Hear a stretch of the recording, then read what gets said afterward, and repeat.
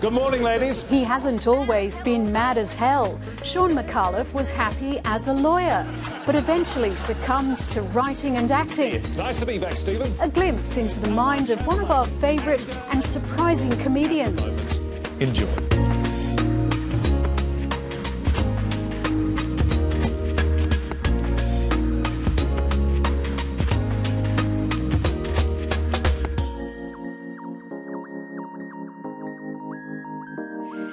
And welcome to One Plus One. I'm Jane Hutcheon.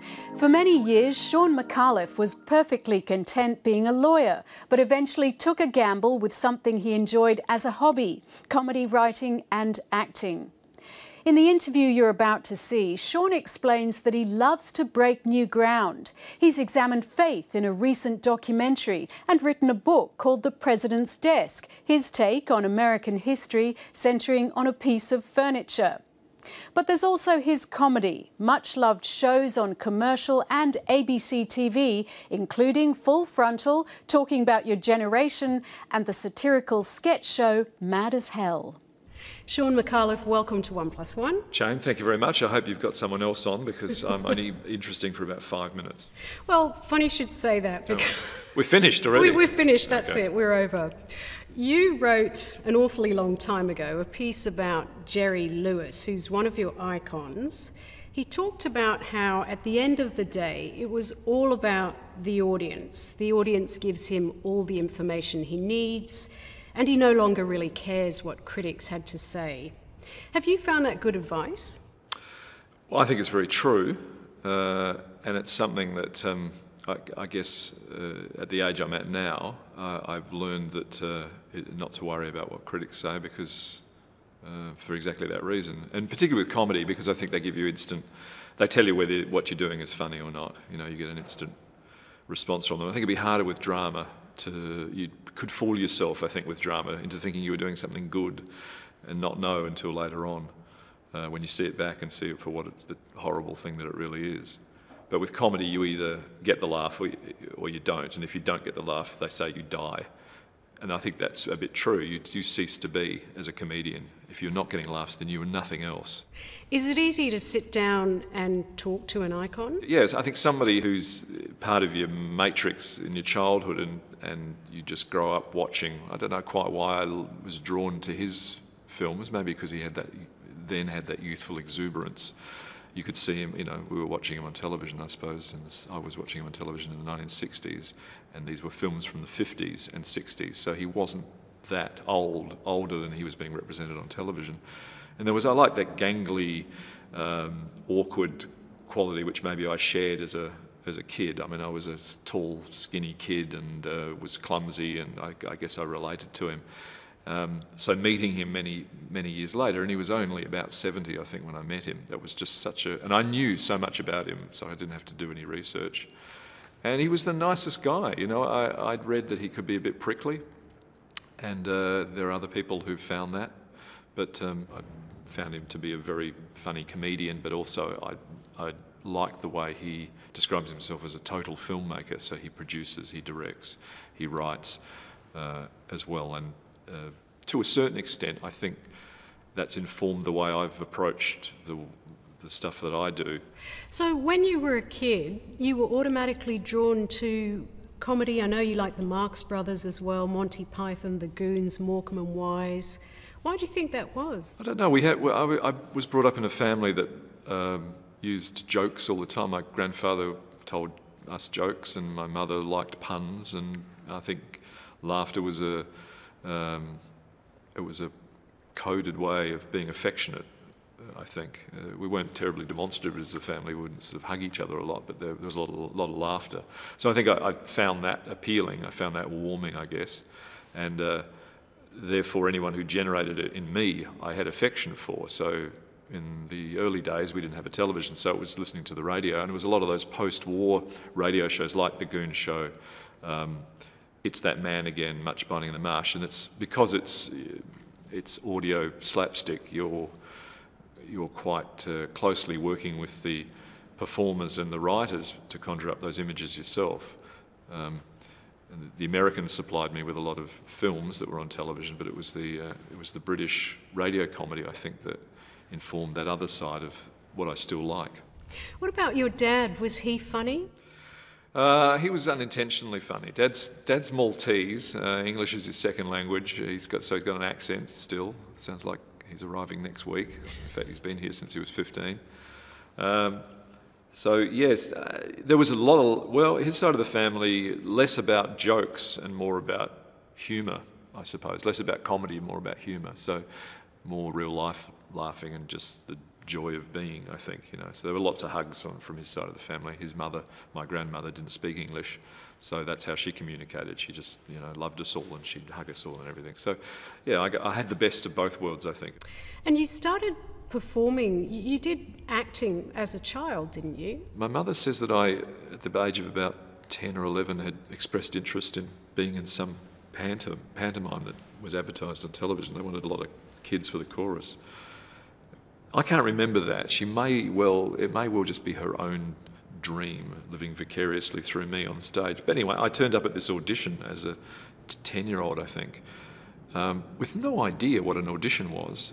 Nor had my mother told me, or my father had told me. They just dropped me off and sat in the audience, and I'm, I'm on stage, and I was asked by the director, Oh, what do you do? I don't know. Do you sing? I have. I don't know. What do you? What do you know? Any songs? I think I sang "Happy Birthday." I'm still wearing my school uniform, singing "Happy Birthday." Appallingly, I can't sing. Can you dance? No, no, no. Well, what do you do? Well, I don't do anything really. I'm sort of just. I can. I'm sort of funny. Uh, so anyway, needless to say, I didn't get that job. But my mother thought, well, we better, you know, send him off to um, to acting school. So I did I did acting classes and learned the rudiments of what it is to perform on stage, uh, breathing, projection. I learned to stage manage and do the lighting and, and be in the sound box and pull the curtain. and Started off doing that, part of the chorus. Eventually found it, found my way on stage. So I, I learned all those other things in order to be a performer. I can do lots of things adequately. I can do nothing really well. And really, I still have no skills. I can't sing and I can't dance. I have no business being an entertainer, honestly. It's comedy by default. You can't really say that. No, I, I, I, I would love to be able to play a musical instrument or sing or, or have some palpable showbiz thing I could do. But I don't have the, I don't, I don't have the felicity for it, and I don't have the, unless I can just do it straight away, pretty well without even thinking. I'm strangely not interested in it. So, how do you describe what you've managed to achieve if you have pretty mediocre skills? Uh, well, I, I, just think I do a lot of things quickly, and uh, I, I, and, and I and I do a lot. I do a lot of things, and for not very very long, because I'm sort of challenged and interested in doing things that really I haven't done before. I, in fact, have no real business doing. I remember when I hosted a, uh, a, chat show on Channel 9 with no experience at all. I had never interviewed anybody. I had no business being on Channel 9, let alone hosting a chat show, as the results proved. But, but it was a great learning experience. I, just, I found it very interesting. I really enjoyed it. So I've just been really lucky, I think. So you recently did a doco on the quest to find meaning in life. I think you went to India and you hung out with some Hindus. The blurb in that said that you actually almost joined the priesthood when you were younger. Is yeah, that right? Well, it's prob- that's probably overstating it slightly. I mean, I was, I was 14, I was at an all boys Catholic Marist school, and uh, there, was, there was some suggestion that uh, we could consider the priesthood as a career option. And I remember thinking, oh, that's not a bad idea. Mean, I was quite, I was quite interested in it. I think I'd won the Christian Leadership, Leadership Prize for that year.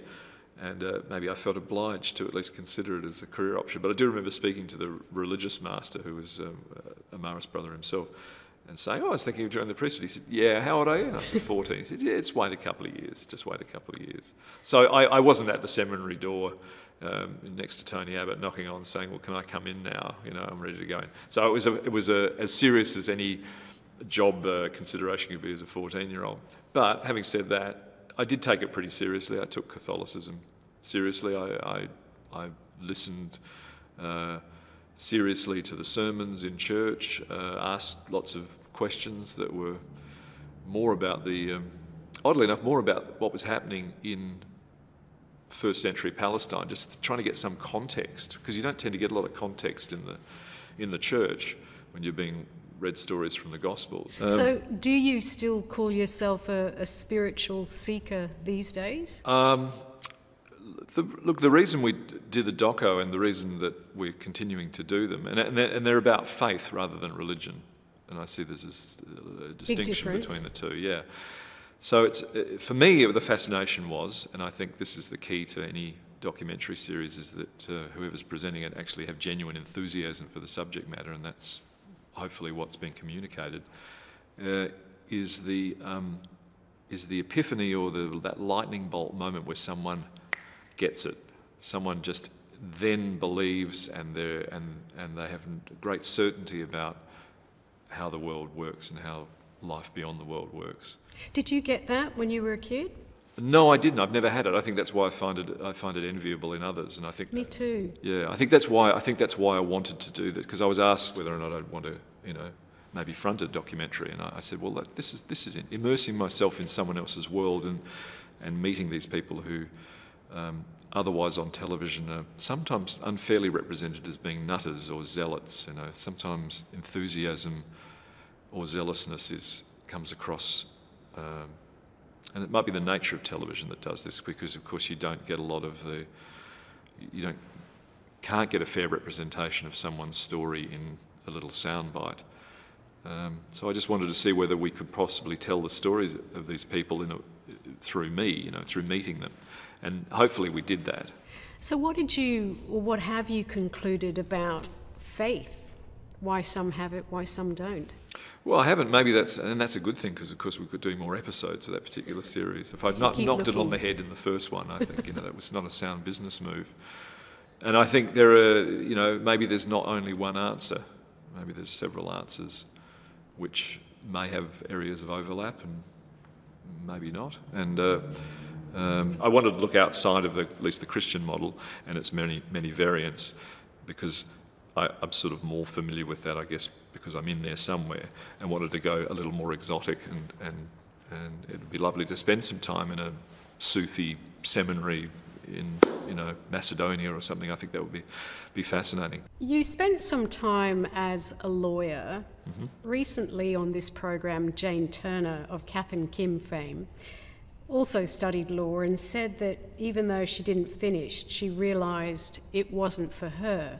But clearly it was for you for a time. Yeah, I, I loved it and still would, if you know the world turned in a different direction or I hit a bend in the river, I'd, I, if I could be accepted, I'd happily go back and do it. I found it very satisfying and I enjoyed um, the discipline of the law and also the problem solving skills that you learn from law. Um, I like argument, I like logic, and all those things I think help put together a TV show too, and it's it's a discipline that can apply itself to many other. Um, it's a key to many doors, I think. Um, so during law school, I found it, um, you know, I found it just simply an extension of high school. Um, the performance side of it fed the interest I had in footlights and revue, and they all seemed to be connected with the law department really I'm doing nothing different on television now than I was doing. It's just a bigger train set now. I was just doing the same thing back at university. Same jokes, essentially. So, what was the point, even though you quite enjoyed doing the law and you were, I suppose, writing and doing other things as well as holding down the legal job? What was the point that made you decide to, to go for the writing and the performing and the comedy? Yeah, well, I was 30 years old and I, and I was watching now television programs featuring Australian performers who were my age or younger. And I think at that point, you know, there's, there's always there's a point. Anyone interested in film when they watch Citizen Kane, and we're reminded of the fact that Orson Welles was only 24 when he made it. You know, it's terribly crushing to a lot of us to think, oh my God, he's already look what he did when he was 24. And uh, I always took great comfort from the fact that Groucho Marx was 40 when he made his first movie. Not much now. I can't take much comfort now, but uh, at growing up and being interested in comedy, I thought, well, I can leave it a bit longer. I can leave it a bit longer. But then I was watching D-Generation, now Working Dog, and they're you know probably a year younger than me. And Jane Turner, who you mentioned, uh, watching them on Fast Forward and thinking, well, I've got to do something now. I've, I've got to do something now, or I'm going to be too too old to do it. And my wife said, Well, do it. Why don't you do it? Why don't you just give it up and give up the law and go and do it. And I never really considered it as a viable way to earn a living, oddly enough. I always thought it was a hobby and not to be taken seriously. No one had ever. I didn't know how to get there from here. I, couldn't see how it could be done. I used to be, and still am a big fan of Barry Humphries. And I was just astonished when I watched Bedazzled, starring Peter Cook and Dudley Moore. And there's Barry Humphries. How did he get from here in Australia over there into a, an international film with these hilarious British comedians? It didn't seem like something I could do from Adelaide. Anyway, it was as simple as moving, apparently. So I, I moved to Melbourne and uh, got a job as a writer on, and through Gary McCaffrie, he was writing for Tonight Live with Steve Vizard, and they were doing a new show called Full Frontal, so I started running for that.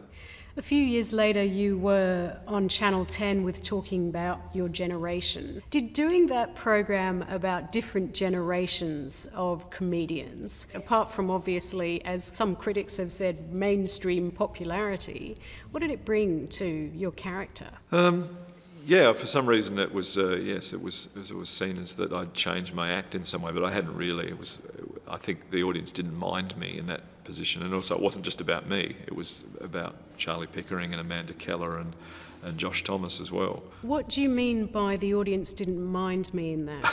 well, it wasn't, it wasn't like a comedy show in that, that, you know, here's what I think is funny and here's me doing what I think is funny. And, you know, it wasn't devoted to me in the way that. Um, rather indulgently a lot of other things I had done up to that point were. This was a I was in the service of this show. I was a it was a job I was asked to do it. It wasn't something that I generated. It was something that I hopefully hopefully brought something to. So I think it taught me to. Um, it taught me and it taught others that I could actually act as a steward for somebody else's vehicle and do it reasonably responsibly while still giving it some personality that hopefully you know contributed to its success. Um, but what I did what I did learn is that the my usual tricks of talking, uh, speaking circuitously and and, and lots of word games. That didn't really work, particularly with the studio audience. I needed to, I needed to speak in fragments. It was a really interesting lesson. Critics say that 2009 was your pivotal year. Do you kind of see your life in that way, your career progression in that way too? No, I, I don't see it as a career. I just see it as a, it's, it's a, everything's leading to something else, but there's no, no plan or anything. I think a career implies that there's some goal at the end of it, and I haven't really got any goal. It really, it really is to do things I've never done before. And I'm getting to the stage now where, where I'm thinking, oh, maybe I could go back and do that thing that I have done better. Like I would like to go back and do a sitcom better than I did a sitcom whenever that was 12 years ago, or I would like to go back and do a variety show properly, you know, because I have done a few things that I'm that were less than stellar successes. I enjoyed them. I enjoyed them absolutely, but um, you know, it'd be nice to uh, give the genre the benefit of what I hopefully have learned. But I can't do everything. I mean, I, I appreciate that I have limited skills, and I enjoyed writing a, a, series, a drama series called Blackjack, which had Colin Friels in it, for example. And I could never do what Colin did in that series. I could never, or indeed anybody in that series. But I really enjoyed writing, and I thought, oh well, that's, that's I, if if the you know, the, sh- the, shop was closed up tomorrow and, no one wanted me to perform on television, I could probably earn a living as a, as a television writer. So, do you think it's important to know your limitations?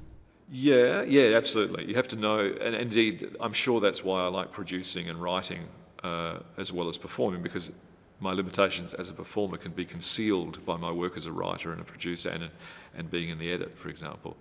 Uh, and you don't know what your limitations are unless you go beyond them anyway. Um, but I think it's, it's healthy to think you're slightly better than you are, otherwise, you'd never really risk anything. So, really, the, the thing that motivates you is to keep doing interesting and challenging things. There's no sort of higher ambition to be no. the most recognised face in comedy or anything like no, that. No, that's all recognitions of, you know, this Jane is a byproduct of doing work you love.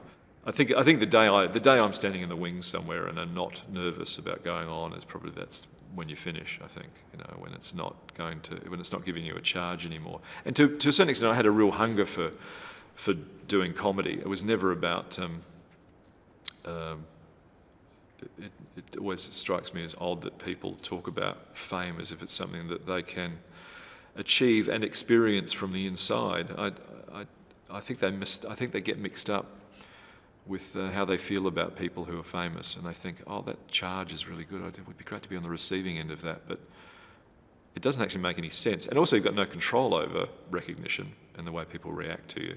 The only thing you've got control over is the work you do. So true. Yeah. So that completely explains why you write a book about and called The President's Desk and you've never been to that country. That that must be the supreme challenge. That is this. That's hubris on my part, isn't it?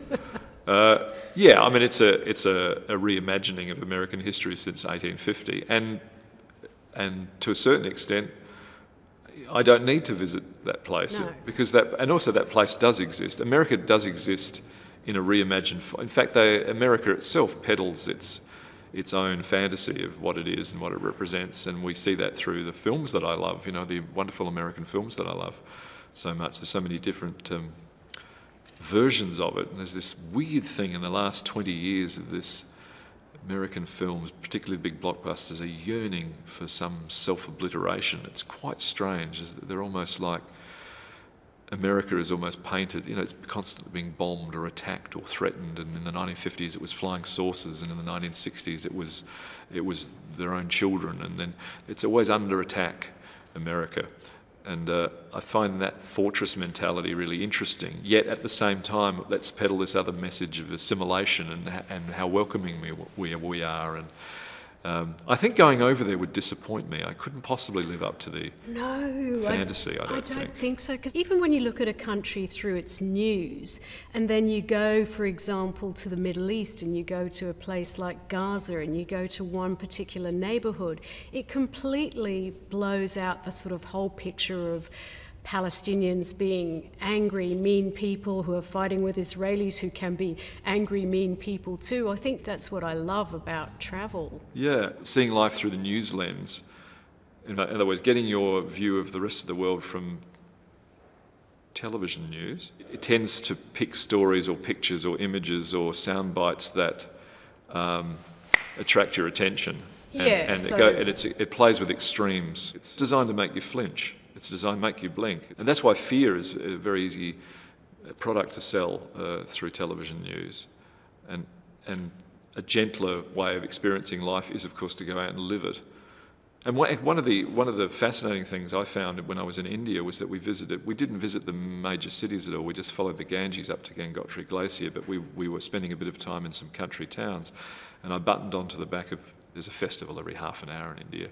So I buttoned onto the back of this um, this festival, which was taking water from the Ganges to a local temple, which everybody does.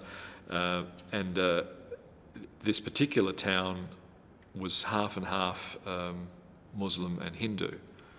And I expected, I guess, not having ever experienced India, I expected tension to exist in those streets as we, as we walked through.